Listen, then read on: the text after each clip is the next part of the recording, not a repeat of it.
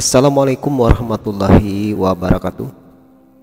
Sahabat-sahabat guru semua Sahabat-sahabat guru hebat se-Indonesia Di mana pun berada Yang kebetulan membuka channel saya ini Channelnya Oh Haji Banjar. Pada malam ini Pada kesempatan ini Pada konten video kali ini Saya akan kembali berbagi materi yang saya peroleh dari kegiatan kuliah secara online yang sudah diamanahkan oleh Mas Aris Ahmad Jaya untuk membagikan kepada sahabat-sahabat guru semua sebanyak-banyaknya sebisa-bisanya maka saya pada kesempatan ini akan membagikannya melalui konten saya seperti biasa. Namun pada kali ini kita akan mendapatkan materi yang begitu hangat ya karena ini baru. Hmm, pematerinya adalah baru baru saya saya kenal. Temannya Mas Aris Ahmad Jaya juga yaitu Bapak Muhammad Purkan Zahidi ya. Nah ini dari timnya juga tim uh, tim dari bidang pendidikan juga ya kurikulum pendidikan terutama untuk pendidikan masa COVID-19 ya. Pendidikan belajar secara online, secara daring.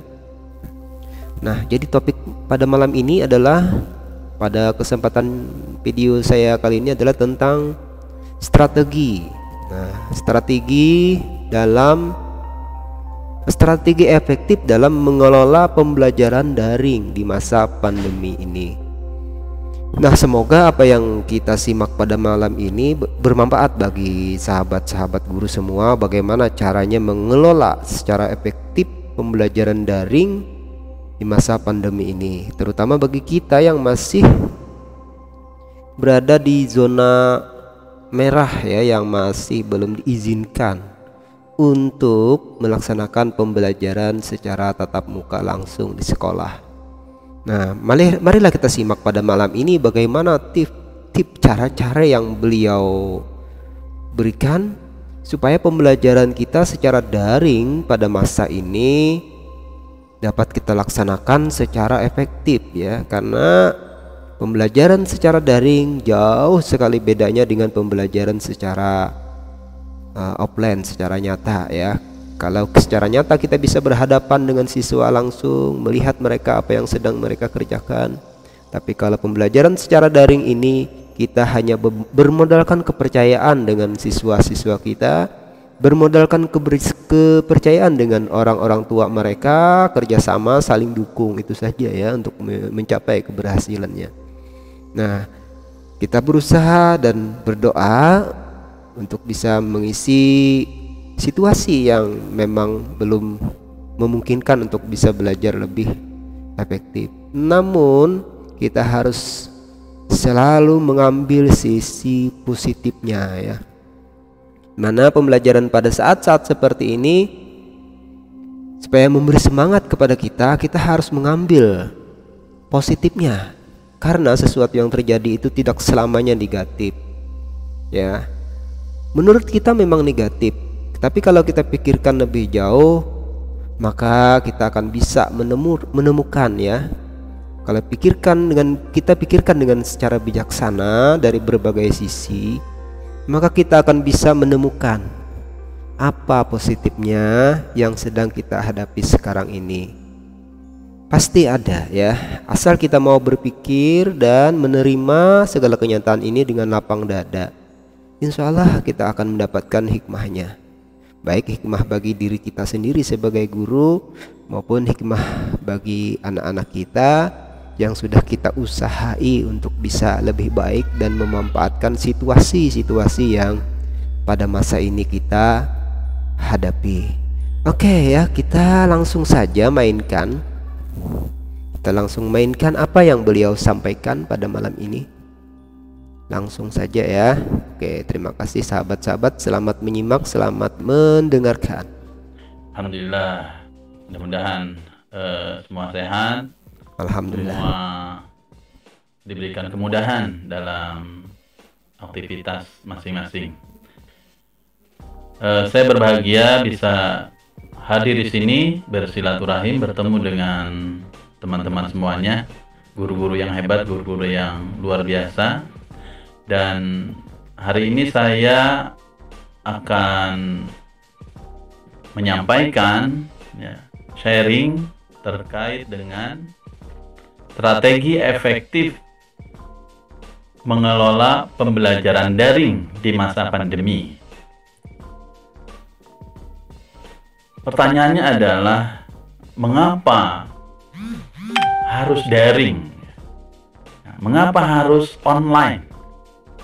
Ya tentu kita semua eh, paham, semua tahu kondisi yang terjadi saat ini, kondisi mewabahnya COVID-19 ya, atau corona, virus corona, dan kondisi ini ya membuat kita semua ya, termasuk di bidang pendidikan, sekolah, kita dipaksa atau terpaksa atau dengan sukarela harus merubah kebiasaan kita, harus merubah cara belajar dan mengajar kita, harus merubah bagaimana uh, mentransfer materi yang sebelumnya biasanya di kelas, sebelumnya offline, tatap muka,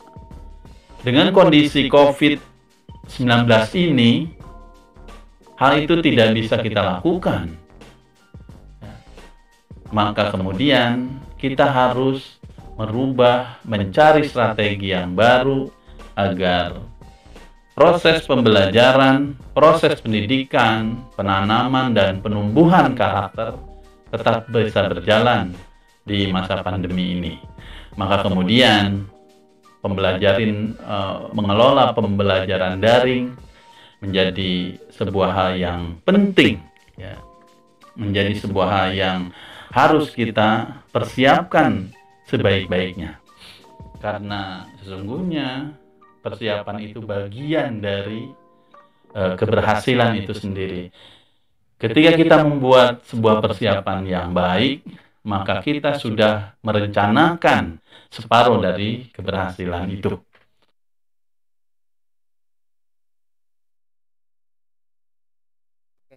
Sahabat-sahabat ya, Oke, sudah kita simak satu materi yang beliau sampaikan, sudah kita simak.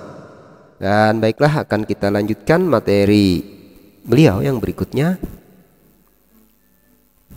Kita langsung saja masuki materi yang beliau sampaikan nah, berikutnya. Apa yang harus dipersiapkan dan siapa yang harus mempersiapkan?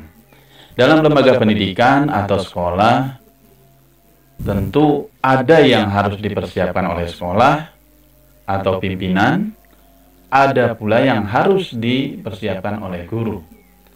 Masing-masing ini saling bersinergi, saling melengkapi satu sama lain. Ya apa yang dipersiapkan oleh sekolah tentu akan melengkapi apa yang dipersiapkan oleh guru dan apa yang dipersiapkan guru tentu menjadi turunan atau bagian dari kebijakan dan ya, sesuatu yang dipersiapkan oleh sekolah. Oleh karena itu, ya dua-duanya harus berjalan bersinergi. Apa yang harus dipersiapkan oleh sekolah? Pertama, pemetaan daya dukung sarana peserta didik seperti HP atau laptop ya, dan juga jaringan internet. Sekolah harus mengetahui secara pasti bagaimana daya dukung peserta didik dalam hal e, sarana. Jangan sampai kemudian guru mempersiapkan proses pembelajaran dengan daring sementara anak-anak ya, peserta didik tidak memiliki daya dukung yang diharapkan ya. mereka tidak punya handphone atau gawai mereka tidak punya laptop juga atau internet pun nggak ada ya. sehingga pasti proses pembelajaran yang eh, diharapkan berjalan dengan baik ya tidak akan terlaksana. Oleh karena itu eh, pemetaan yang terkait dengan daya dukung sarana ini, sarana ini harus dilakukan oleh sekolah. Caranya bagaimana? Dengan eh, mengirimkan lembaran survei atau kuesioner kepada orang tua ya, dan di situ digali eh, terkait dengan daya dukung tersebut. Ya. Harapannya sekolah mempunyai pemetaan berapa persen anak-anak yang memiliki eh, sarana untuk pembelajaran daring dan berapa persen anak-anak yang terkendala atau tidak memiliki daya dukung sarana untuk pembelajaran daring. Nah, ini akan menjadi dasar langkah-langkah yang nanti akan dipersiapkan oleh sekolah. Itu yang pertama. Kemudian yang kedua, tentu kesiapan orang tua dalam mendampingi anak juga perlu digali, dipetakan. Ya. Berapa persen orang tua yang bisa full mendampingi anak-anak ketika proses belajar dari rumah. Dan berapa persen orang tua yang terkendala dalam pendampingan anak? Sehingga sekolah bisa mengetahui siapa atau uh, berapa orang eh, anak-anak uh, yang mungkin mereka harus sendiri, yang mandiri, dan berapa orang yang memang bisa didampingi oleh uh, orang tuanya. Ini sama dengan yang pertama dengan uh, kuesioner atau uh, survei. Ya. Nah, survei ini bisa dilakukan uh, dengan daring ya lewat Google Form ataupun mungkin dengan uh, lembaran atau print out yang disiapkan untuk orang tua atau dikirimkan kepada orang tua. Kemudian yang ketiga, teman-teman semuanya, yang harus dipersiapkan oleh sekolah dalam pembelajaran daring ini adalah pemetaan materi materi pembelajaran yang akan diberikan kepada peserta didik. Kenapa harus dipetakan materi pembelajaran ini?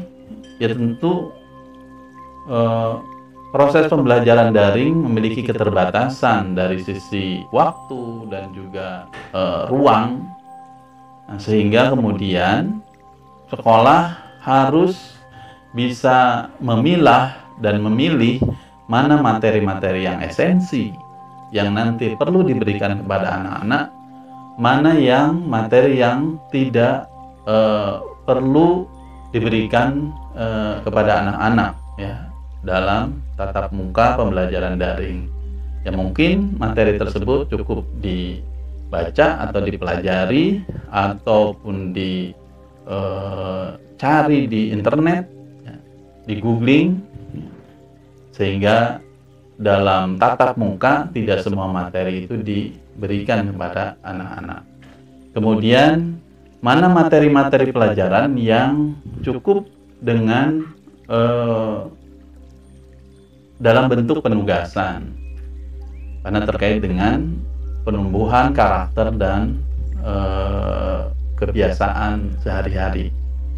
Nah, tentu ini tidak harus ada dalam tatap muka ya, cukup diberikan tugas kepada anak-anak ya e, misalnya membantu orang tua kemudian e, mengerjakan atau melakukan sesuatu yang e, bermanfaat di rumah dan hasilnya kemudian dilaporkan dalam bentuk e, video ataupun dalam bentuk e, suara ya, e, kepada kita kepada guru ini yang ketiga, jadi pemetaan materi pembelajaran yang akan diberikan kepada peserta didik. sekarang apa yang harus dipersiapkan oleh guru? Pertama, kuatkan mindset. Cara pandang kita dalam menghadapi pandemi ini. Apa mindset itu? Atau apa mindset yang harus kita kuatkan? Kondisi pandemi adalah tantangan, bukan beban. Sekali lagi, saya ulangi, kondisi pandemi adalah tantangan, bukan beban. Oke, teman-teman coba ulangi. Kondisi pandemi adalah tantangan, bukan beban. Oke, nah itu harus uh, kita tanamkan kepada teman-teman guru. Kalau perlu kita ulang-ulang gitu, atau kita uh, tempelkan dalam bentuk afirmasi, tempel di kantor guru ataupun mungkin di ruangan uh, kelas atau di tempat-tempat yang memang bisa uh, diakses oleh teman-teman guru. Ini yang yang pertama. Ini penting poin pertama ini karena akan mempermudah ya, aktivitas-aktivitas yang lain yang uh, kita lakukan selanjutnya. Kemudian yang kedua, teman-teman semuanya, yang harus dipersiapkan oleh guru adalah merespon positif ya, kondisi pandemi ini. Seperti apa respon positif itu? Ya, tentu kondisi ini akan uh, ya untuk sebagian kita ya mungkin sebagian besar uh, kondisi ini pasti akan uh, menimbulkan kesulitan-kesulitan atau kendala-kendala dalam proses pembelajaran. Nah, respon positif yang harus kita lakukan adalah kesem kondisi pandemi ini adalah kesempatan besar, kesempatan untuk memperbesar kapasitas diri. Sekali lagi saya ulangi, kondisi pandemi ini adalah kesempatan memperbesar kapasitas diri. Kenapa uh, ini juga menjadi sebuah hal yang penting? Karena dengan respon positif itu, maka kita akan bersemangat ya, melakukan hal-hal ataupun eh, langkah-langkah dalam mempersiapkan dan juga melaksanakan proses pembelajaran daring ini. Kapasitas diri kita akan semakin meningkat, kapasitas diri kita akan semakin besar, ya. dan dengan kapasitas diri yang semakin uh, besar, maka kemampuan kita juga akan semakin meningkat. Ya. Yeah. Kompetensi kita juga akan semakin meningkat. Ya. Dan pada akhirnya uh, kita akan uh, lahir atau tumbuh ya, sebagai guru yang profesional dan guru yang dirindukan oleh anak-anak kita. Iya, betul, betul. Nah, teman-teman semuanya, eh, ini yang kedua, respon positif. Oke, yang ketiga. Nah, kemudian yang ketiga yang harus dipersiapkan oleh eh, teman-teman semuanya, teman-teman guru, eh, yaitu kuasai manajemen kelas daring. Nah, ini yang banyak guru yang jadi untuk tidak melaksanakan proses pembelajaran daring, maka dengan sendirinya harus menguasai manajemen kelasnya. Nah, ini yang malas kadang-kadang nih. Daring. Kita malas nih. Nah, manajemen kelas uh, daring ini ia bertujuan untuk menciptakan suasana belajar yang menyenangkan sama dengan proses pembelajaran yang eh, yang biasa, yang offline, yang tatap muka. Suasana belajar itu harus dibangun, diciptakan eh, yang menyenangkan buat anak-anak eh, didik kita. Iya. Jangan sampai kemudian pembelajaran yang kita lakukan membuat eh, mereka bosan, kebanyakan tugas mereka uh, jenuh iya. dan pada akhirnya kondisi seperti itu akan menjadikan mereka tidak mendapatkan apa-apa tidak ada proses belajar dalam uh, pembelajaran daring yang kita berikan kepada mereka yang ada ada kebosanan dan kejenuhan dalam uh, proses uh, belajar mengajar tersebut. Oleh karena itu, penting bagi seorang guru untuk menguasai manajemen kelas daring. Bagaimana mengelola ya, pembelajaran uh, virtual atau pembelajaran daring ini, walaupun guru dan anak-anak uh, atau peserta didik dibatasi oleh jarak yang uh, cukup jauh ya guru di kelas atau di sekolah atau di rumah sementara anak-anak juga di rumah masing-masing. Nah itu yang tiga hal yang harus dipersiapkan oleh guru oleh teman-teman guru. Yang pertama kuatkan mindset kondisi pandemi adalah tantangan bukan beban. Yang kedua respon positif kesempatan memperbesar kapasitas diri. Kemudian yang ketiga, kuasai manajemen kelas daring yang bertujuan untuk menciptakan suasana belajar yang menyenangkan.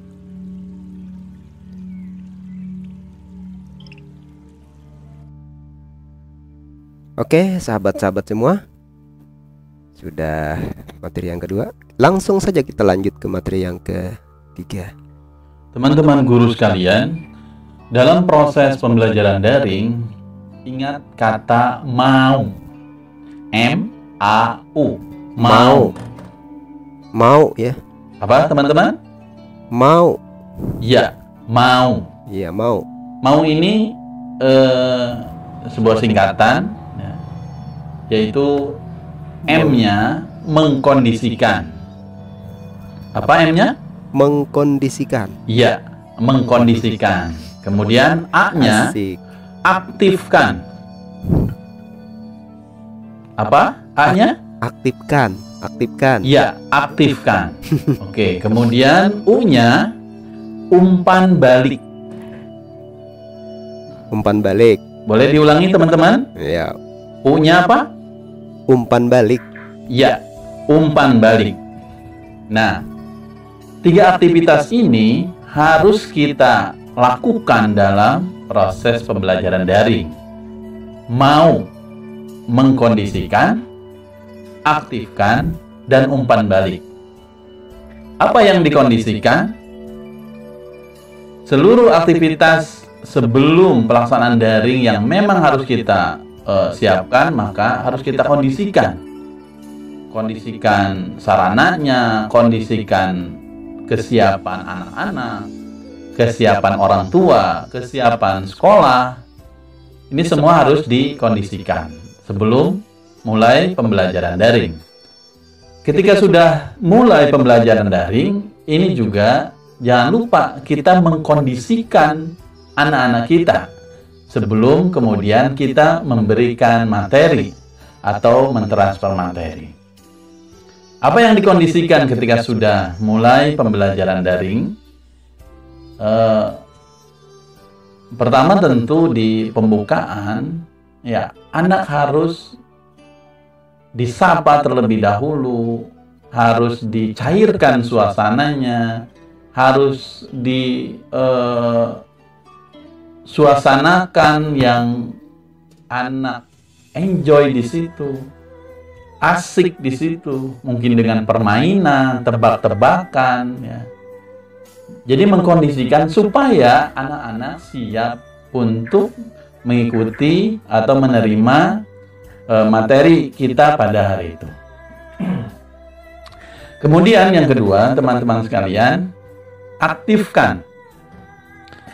Dalam proses pembelajaran daring, maka peserta didik anak-anak kita harus kita aktifkan dalam uh, proses belajar tersebut.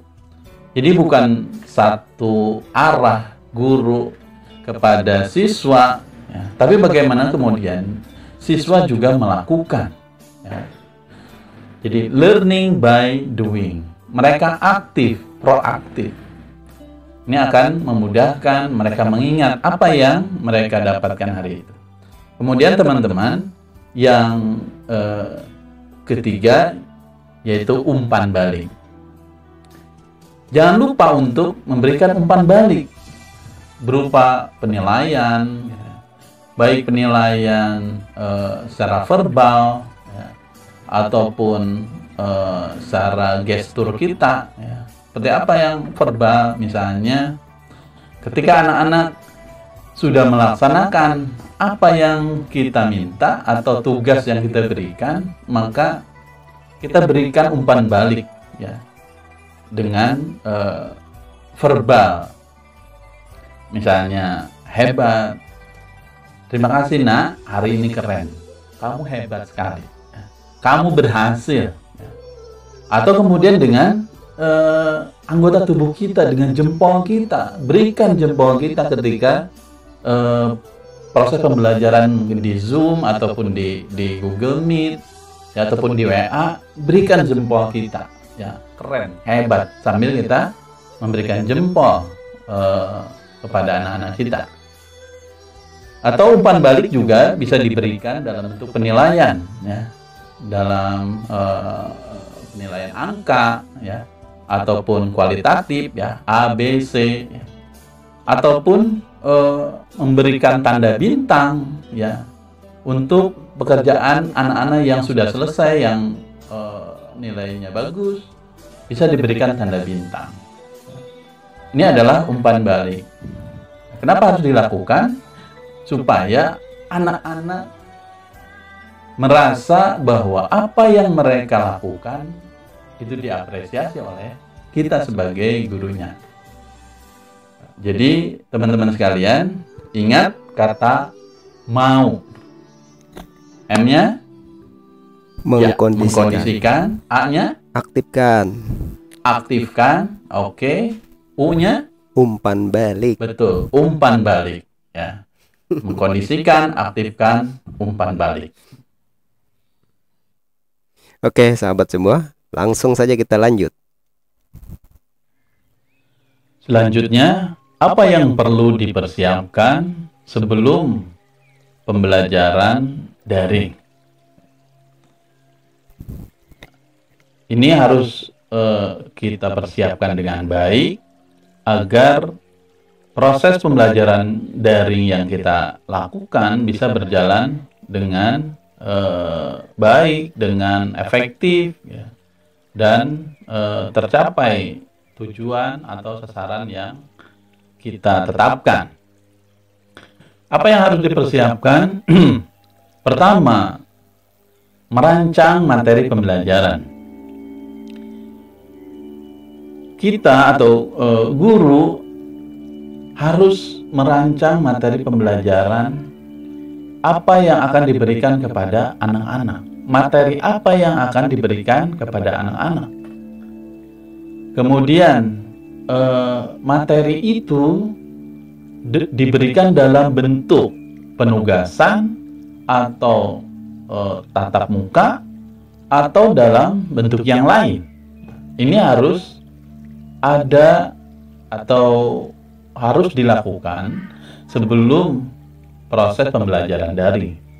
Jadi eh, guru-guru atau sekolah memfasilitasi guru-guru untuk merancang pemetaan materi pembelajaran.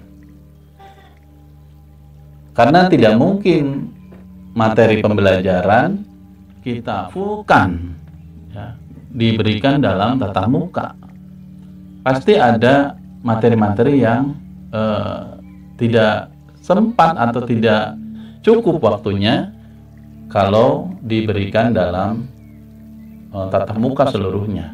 Maka harus dipilih dan dipilah materi-materi yang esensi.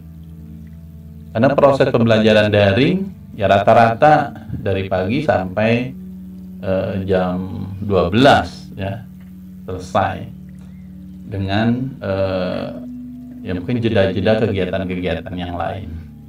Itu yang pertama. Jadi persiapan yang harus dilakukan sebelum proses pembelajaran daring adalah merancang materi pembelajaran. Kemudian yang kedua, teman-teman sekalian,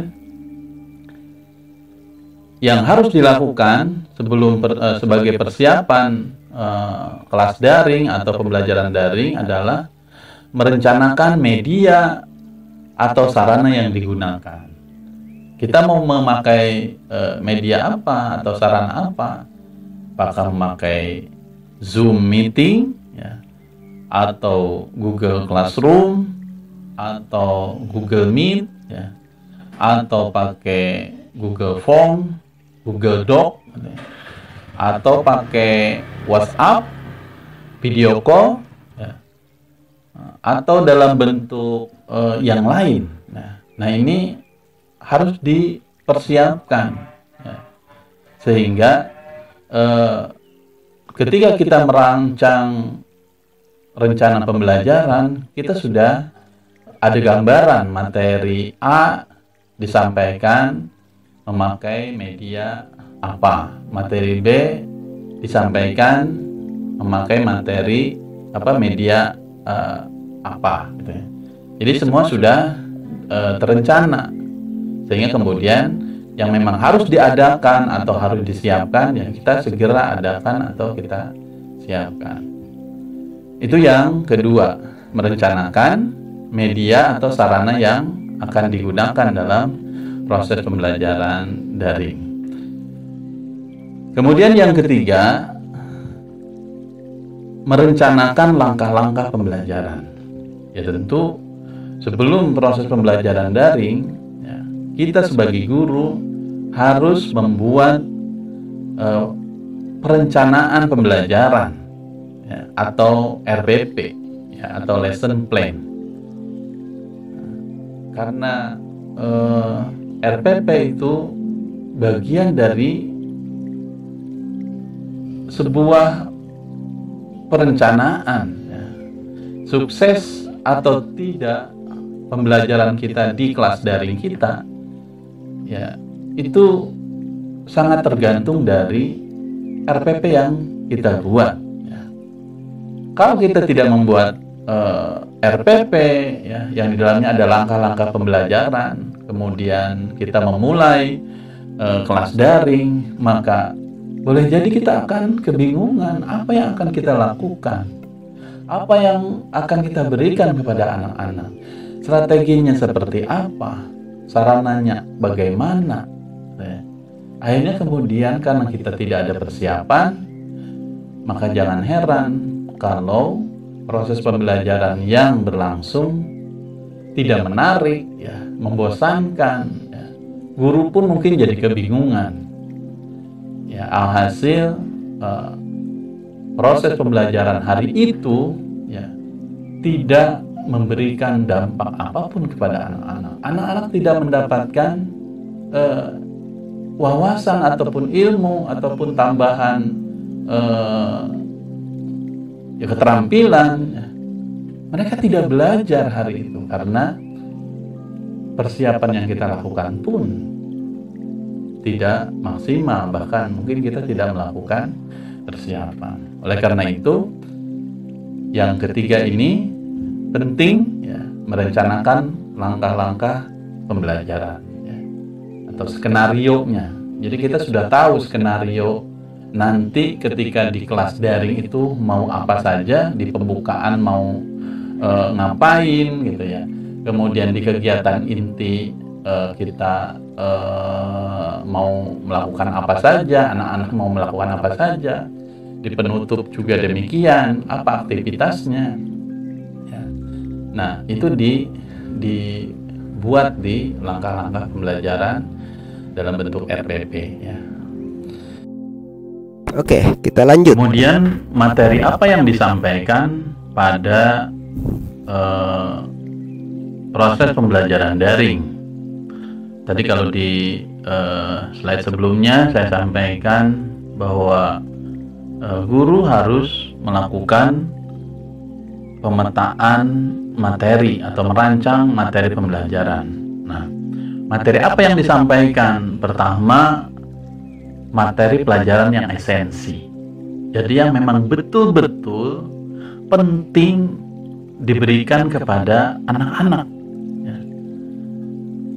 Kalau uh, materi yang ada di uh, silabus ataupun di kurikulum itu cukup misalnya hanya dibaca ataupun mungkin anak bisa searching di internet tentu tidak perlu diberikan dalam tatap muka ya.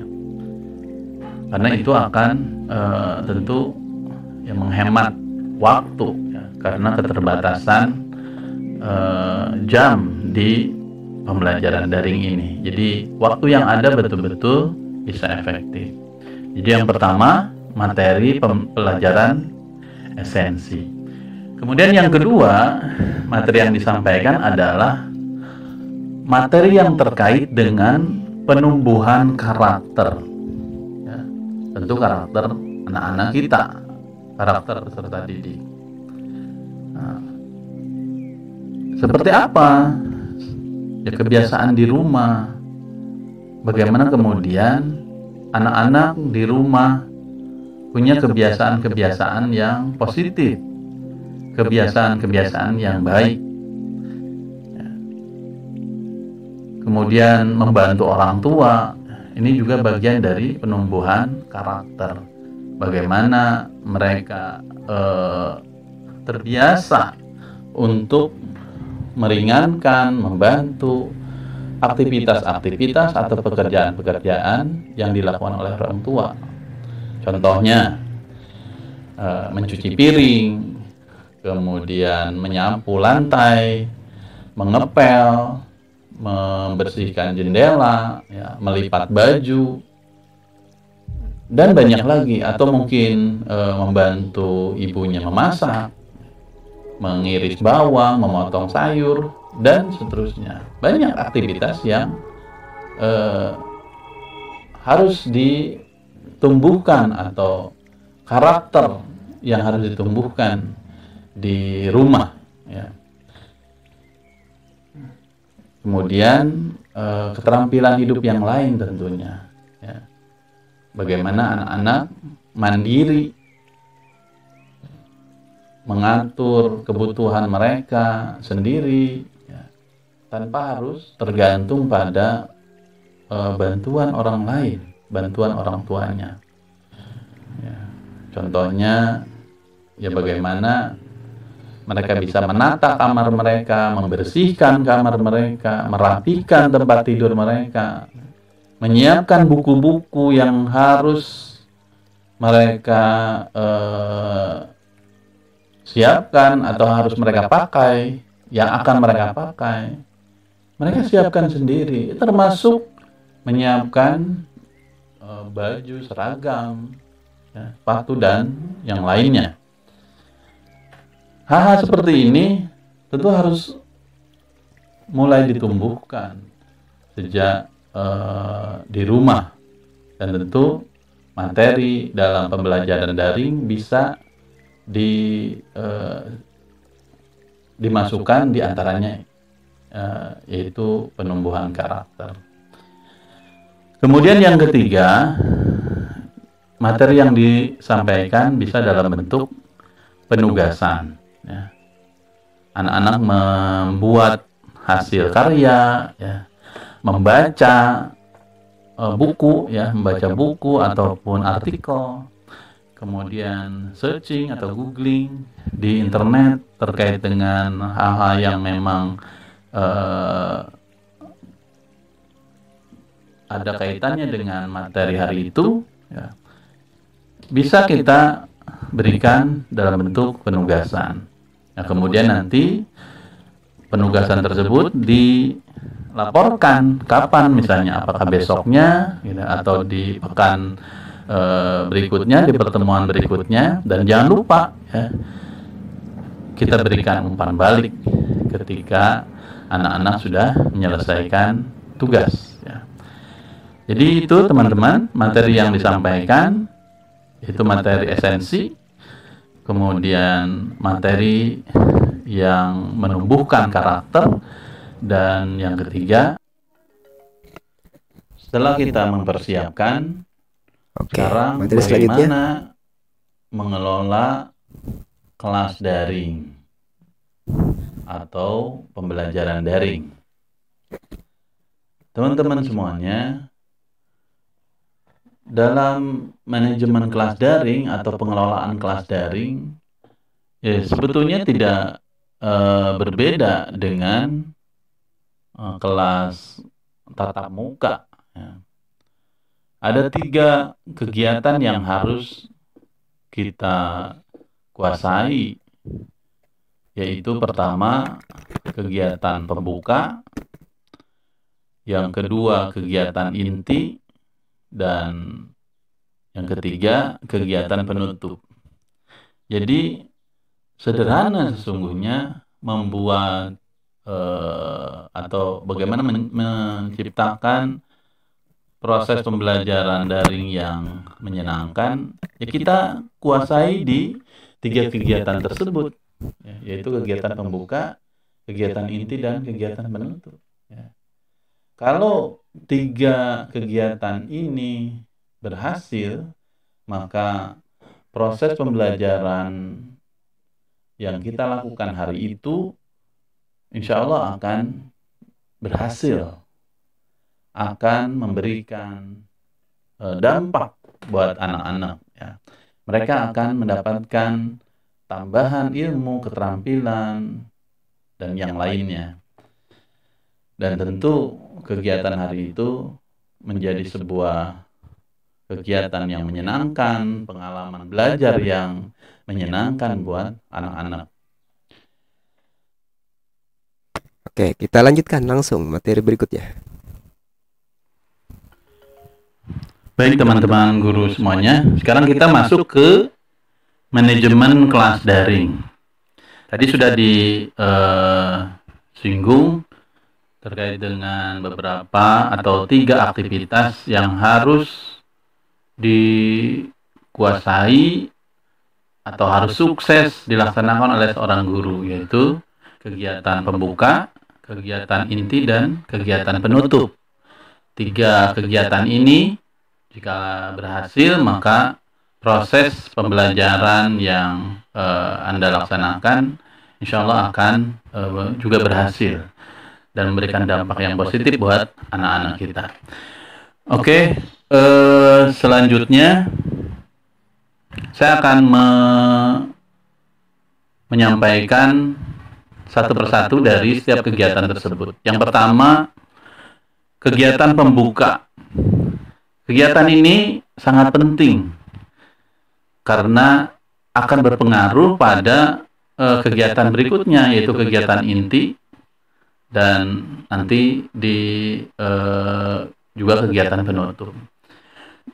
Kegiatan pembuka ini betul-betul untuk mengkondisikan anak-anak supaya mereka lebih siap untuk menerima materi yang akan kita berikan. Anak-anak juga lebih siap uh, untuk berinteraksi, untuk ikut serta, sehingga mereka tidak hanya pasif tapi juga aktif dan eh, harapannya itu bisa terkondisikan di kegiatan pembuka ini. Oleh karena itu penting buat eh, teman-teman semua untuk merancang kegiatan pembuka ini dengan sebaik-baiknya. Nah, apa yang harus dilakukan di kegiatan pembuka ini? Pertama, menyapa anak-anak. Ya, tentu eh, ini harus eh, dilakukan di awal ya. Salam kemudian menyapa anak-anak ya. Misalnya, Assalamualaikum warahmatullahi wabarakatuh. Apa kabar eh, teman-teman eh, semuanya? Apa kabar anak-anak? Nah, itu eh, menyapa, contoh menyapa eh, anak-anak gitu ya.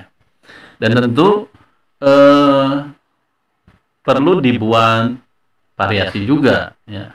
Untuk menyapa ini tidak sekedar kemudian misalnya apa kabar anak-anak? Baik gitu ya. Perlu dibuat variasi atau mungkin disepakati jawaban apa yang kira-kira eh, diinginkan oleh kita. Ya. contoh Assalamualaikum warahmatullahi wabarakatuh apa kabar anak-anak apa kabar teman-teman semuanya Ya. Nah, kalau Bapak bilang apa kabar, teman-teman, maka teman-teman jawab Alhamdulillah. Aku sehat. Aku luar biasa. Yes. Nah, nah itu bisa contoh seperti itu. Oke, eh, kita coba ya. Eh, anggap teman-teman semua, bapak, bapak ibu sebagai eh, anak-anak uh, ya. Assalamualaikum warahmatullahi wabarakatuh. Waalaikumsalam warahmatullahi wabarakatuh. Apa kabar teman-teman? Baik, sehat. Oke, jawabannya seperti itu. Alhamdulillah, Alhamdulillah, aku sehat. Aku luar biasa. Aku yes. Gitu ya, itu contoh. Teman-teman boleh memvariasikan dengan uh, sapaan atau jawaban uh, respon feedback yang mungkin bisa berbeda.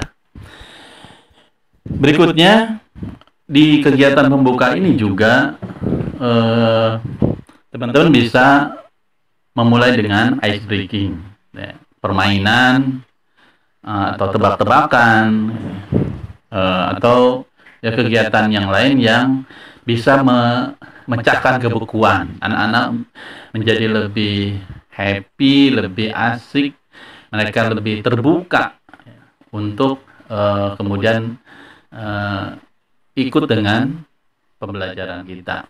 Ya.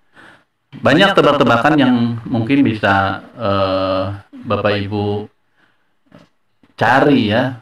Di, YouTube banyak, kemudian mungkin bisa diskusi dengan teman-teman uh, uh, yang lain, guru-guru yang lain, ya, saling memberikan ya ice breaking ice breaking yang sudah mungkin sudah di, dilakukan di kelasnya. Ada tebak angka, kemudian mungkin ada tebak gambar juga, kemudian tebak eh, menyebutkan apa saling berlomba untuk menyebutkan angka 20. Nah, nah, itu ada beberapa permainan yang bisa dilakukan oleh eh, teman-teman uh, semuanya di kegiatan pembuka ini.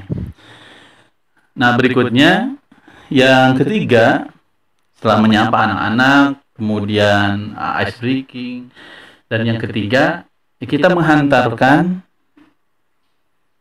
materi yang akan kita berikan ya dalam bentuk bisa dengan gambar, cerita ataupun media yang lainnya sehingga tidak langsung uh, anak-anak uh, kemudian diinstruksikan uh, atau dibuka uh, untuk uh, langsung ke materi, tapi dihantarkan dulu. Ada scene settingnya, gitu ya. Misalnya mungkin hari itu kita akan me menyampaikan materi tentang uh, gunung berapi. Nah, ya mungkin dihantarkan dengan cerita atau clipping koran atau gambar gunung berapi, kemudian uh, Bapak Ibu bisa bercerita tentang bencana alam.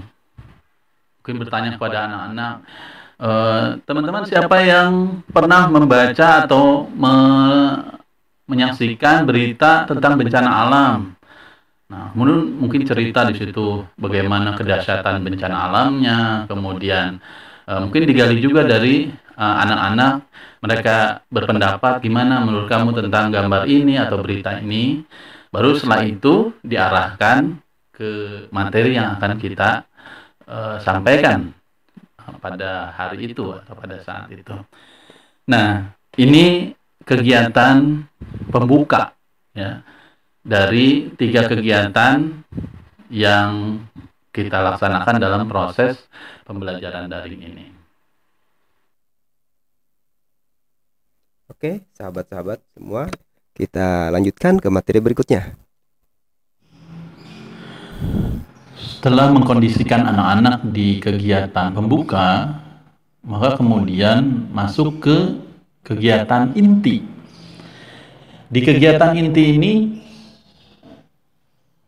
tentu harapannya anak-anak sudah siap menerima apa yang eh, teman-teman uh, akan sampaikan, ya, materi pembelajaran yang akan disampaikan. Nah, di kegiatan inti ini, aktivitas uh, yang teman-teman lakukan adalah pertama menyampaikan materi pembelajaran. Ya. Ya, tentu di kondisi eh, pembelajaran jarak jauh ini bisa dilakukan dengan beberapa media atau aplikasi ya seperti Zoom, kemudian uh, eh, WA, ya, WhatsApp atau video call atau Google Classroom ya atau video pembelajaran dan beberapa media yang lainnya yang uh, memungkinkan. Kemudian yang kedua, jangan lupa untuk melibatkan anak dalam proses belajar ini. Ya, jadi teman-teman sebagai guru, ya, kita harus bisa melibatkan anak-anak. Jadi tidak satu arah, tidak monolog. Ya. Mungkin pada saat-saat tertentu kita menyampaikan secara monolog, tapi setelah itu kemudian berikan kesempatan anak-anak untuk bertanya, untuk uh, merumuskan dan kemudian mempresentasikan atau menyampaikan pendapat mereka. Sehingga proses pembelajaran yang kita lakukan betul-betul uh, ada interaksi dua arah ya.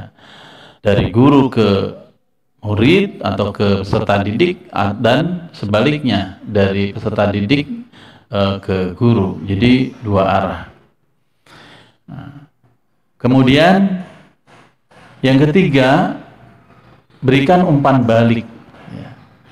Jadi ketika kita uh, melakukan interaksi ya, dalam proses pembelajaran tersebut, kemudian uh, anak mampu menyelesaikan tugas yang kita berikan, mampu menjawab pertanyaan yang kita berikan.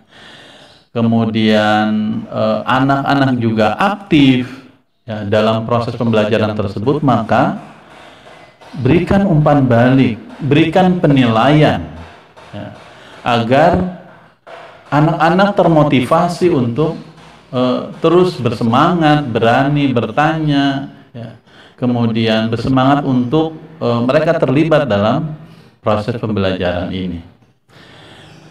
Jadi dalam kegiatan inti ya pastikan nah, materi pembelajaran sesuai dengan e, media yang sudah kita rencanakan ya e, dengan Zoom dengan e, WhatsApp dan yang lainnya itu sudah disiapkan Kemudian ketika sudah mulai, ya libatkan anak-anak dalam uh, proses pembelajaran dan berikan umpan balik atau penilaian. Oke, sahabat, kita lanjut terus ya. Masih ada dua video lagi yang belum diputarkan untuk yang kali ini ya. Oke, langsung aja karena waktu kita satu jam. Selanjutnya kegiatan penutup atau kegiatan akhir dari manajemen kelas daring ini. Ada tiga hal yang harus teman-teman lakukan di kegiatan penutup ini. Pertama, refleksi pembelajaran. Apa yang sudah dipahami oleh anak-anak? Ya, berapa persen uh, materi yang ditangkap oleh anak-anak? Berapa persen anak-anak yang belum paham atau butuh pendekatan lebih lanjut. Ini harus digali, ya, harus kita ketahui supaya kita mudah untuk melakukan evaluasi apa yang harus diperbaiki dalam proses pembelajaran uh, kali ini dan apa yang perlu ditindaklanjuti ya untuk anak-anak yang memang belum e, mengerti atau belum paham. Bagaimana caranya? Ada beberapa e, langkah atau e, cara yang bisa kita lakukan, ya, bisa teman-teman lakukan. Ya. Saya yakin e, semua pernah punya pengalaman ya menutup atau melakukan refleksi pembelajaran ini. Saya akan berikan mungkin beberapa saja contoh. Ya pertama kita bisa langsung bertanya kepada anak-anak. Ya. Contohnya, oke anak-anak, uh, siapa yang belum paham materi yang tadi sudah kita bahas atau ada yang mau ditanyakan? Silakan tunjuk tangan. Itu contoh yang pertama. Jadi bertanya langsung pada anak-anak. Ya. Kalau cara yang pertama ini belum bisa menggali eh, tingkat pemahaman anak karena mungkin anak-anak eh, ada sebagian anak yang eh, malu atau nggak berani menyampaikan eh, pendapatnya, tidak berani tunjuk tangan, tidak berani mengatakan saya belum paham pak, gitu ya. Bisa kemudian dengan langkah yang kedua yaitu melakukan tanya jawab ya, tentang materi yang uh, kita berikan. Baik anak-anak, setelah kita mempelajari materi yang uh, hari ini, Bapak akan mereview atau mengulang kembali materi yang tadi sudah dibahas, sudah disampaikan, sudah didiskusikan. Oke, Bapak akan bertanya ya. Nanti yang namanya disebut Ya, tolong jawab ya. Ya. Nanti yang lain siap-siap untuk uh, menjawab atau membantu melengkapi dari jawaban temannya. Oke. Nah, setelah itu kita baru bisa melakukan uh, tanya jawab ya. Misalnya kalau materinya tentang gunung berapi misalnya. Apa manfaat gunung berapi? Nah, Ahmad. Nah, Nanti Ahmad mungkin menjawab, ya mungkin belum lengkap. Nah, bisa dilemparkan ke yang lain. Oke, terima, terima kasih Ahmad.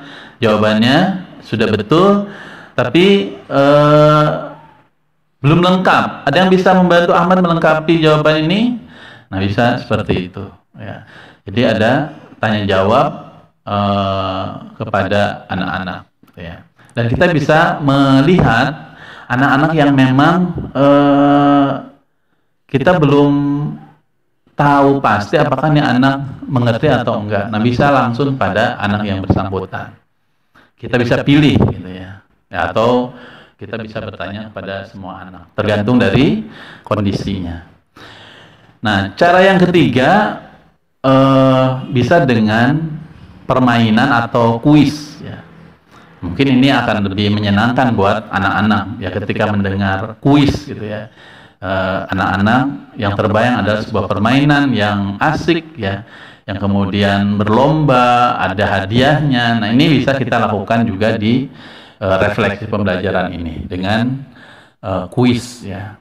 Jadi uh, kita mengajukan pertanyaan ya kemudian nanti bisa dibuat per kelompok ataupun uh, individual nggak ada masalah gitu ya. Kemudian nanti yang bisa menjawab kita berikan uh, hadiah penghargaan, apresiasi. Bisa dengan nilai, bisa dengan bintang ataupun yang lainnya. Nah, itu refleksi pembelajaran ya yang perlu kita lakukan di di penutup ya supaya kita tahu apakah proses pembelajaran yang kita lakukan itu berhasil atau uh, tidak gitu, atau butuh uh, perbaikan. Yang kedua, di penutup ini yang perlu kita lakukan adalah tindak lanjut. Apa yang perlu dilakukan oleh anak-anak agar materi yang diberikan bisa lebih difahami dan diaplikasikan. Jadi ada aktivitas lanjutan di luar kelas ya di luar kelas yang uh, kita kelola hari itu. Misalnya uh, mereka melakukan uh, tugas atau melakukan kalau di pembelajaran Quran misalnya mengulang kembali hafalan yang sudah di uh, storekan hari ini gitu ya. atau misalnya membaca uh, buku halaman sekian untuk lebih mendalami atau misalnya bisa juga dalam bentuk uh, googling atau mencari data di internet untuk melengkapi poin-poin yang sudah dipelajari hari ini. Nah, itu adalah tindak lanjut ya. Atau kalau itu dalam sebuah karakter, ya penumbuhan karakter, tindak lanjutnya adalah mereka melakukan hal itu dalam kehidupan sehari-hari. Misalnya e, membantu orang tua, gitu ya. kemudian membantu saudara, membimbing adik ataupun yang lainnya. Itu yang kedua ya, tindak lanjut. Dan yang terakhir adalah rayakan. Ya. Rayakan keberhasilan hari itu. Keberhasilan apa? Keberhasilan menambah ilmu baru, menambah wawasan baru. Ya. Nah ini dirayakan. Ya. sebagai bentuk rasa syukur kita ya sampaikan pada anak-anak ya ini sebagai bentuk rasa syukur kita yuk kita rayakan gitu ya Nah, gimana caranya? Ya bisa bermacam-macam ya dengan takbir ya, dengan tepuk tangan bersama, dengan mengucapkan hamdalah, ya, dengan menyanyikan lagu ya, ya dan uh, lain sebagainya. Nah, teman-teman semuanya, sahabat guru Indonesia di itu di kegiatan penutup atau di akhir manajemen kelas, ya, tiga hal yang harus kita lakukan, yaitu refleksi pembelajaran, tindak lanjut, dan merayakan uh, keberhasilan hari itu. Oke, sahabat semua, itulah yang beliau sampaikan ya. Tapi bagaimana ya untuk online? Bagaimana kalau onlinenya lewat WA? Iya, ya. Oke, tapi ya kalau lewat Zoom atau meeting bisa ya untuk tepuk tangan bersama ya, saling uh, merayakan dengan uh, uh, ya bersama ya, foto bersama ya bisa kalau di WA. Tapi kalau nya kalau di WA tidak bisa, bisa ya? Bisa tepuk tangan bersama, kirim emosi ya, emotion. Oke, kita lanjut nah yang terakhir ya. Untuk terakhir pada malam ini yang akan disampaikan oleh uh, M Furkan Zahidi trainer dan konsultan pendidikan ya oke apa yang penutup ya bagian penutup yang teman dan sahabat guru Indonesia di akhir atau di penutup perjumpaan kita di materi ini saya doakan ya teman-teman semuanya sukses dan Amin. menjadi guru yang hebat, guru yang senantiasa dirindukan oleh anak-anak didik uh, Bapak Ibu semua. Amin. Guru yang hebat adalah guru yang senantiasa bersemangat untuk memperbesar kapasitas diri. Karena dengan itu kita bisa berbagi lebih banyak. Kita bisa memberikan lebih banyak manfaat untuk orang lain.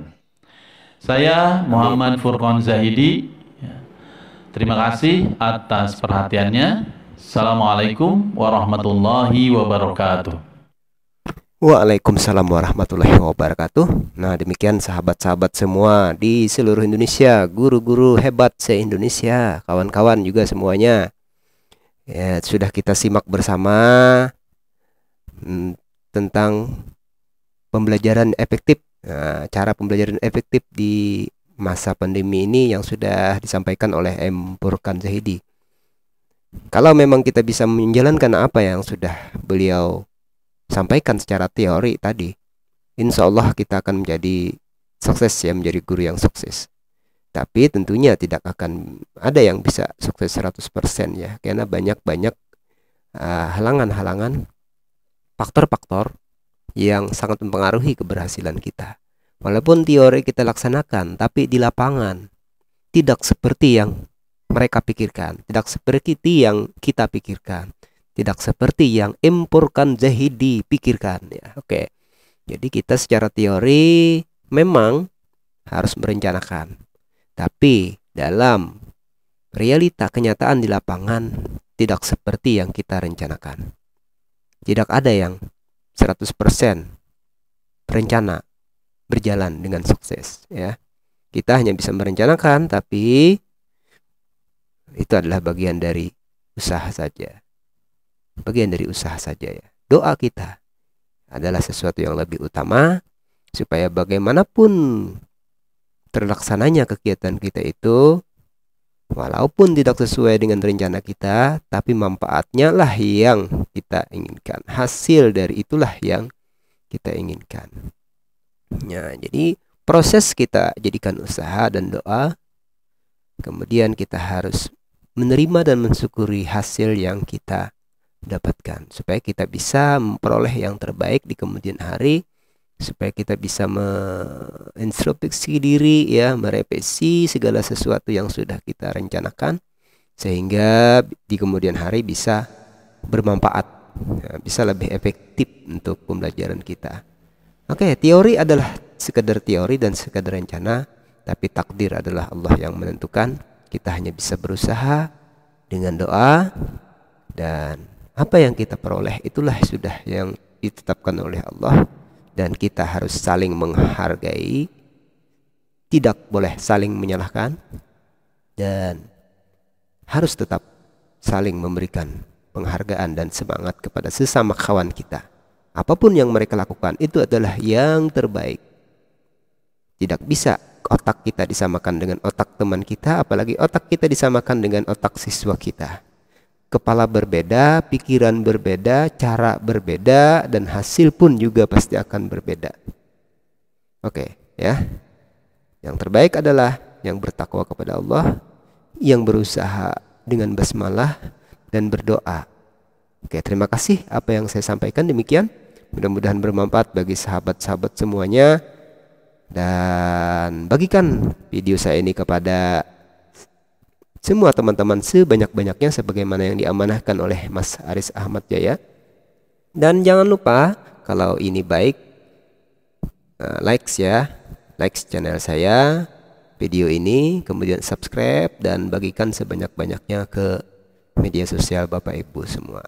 Oke, terima kasih yang sudah setia mendengarkan apa yang saya sampaikan malam ini selama satu jam 7 menit 20 detik. Terima kasih. Assalamualaikum warahmatullahi wabarakatuh.